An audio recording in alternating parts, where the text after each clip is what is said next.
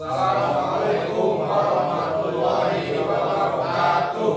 Saya Ade Aksan Gata Dirija, Camat Pabuaran, beserta seluruh jajaran perangkat pemerintah Kecamatan Pabuaran mengucapkan Selamat Hari Jadi ke-153 Kabupaten Sukabumi 10 September 2023 Sukabumi berkarya bersama memantapkan pelayanan publik menuju peningkatan daya saing ekonomi daerah Kabupaten Sukabumi.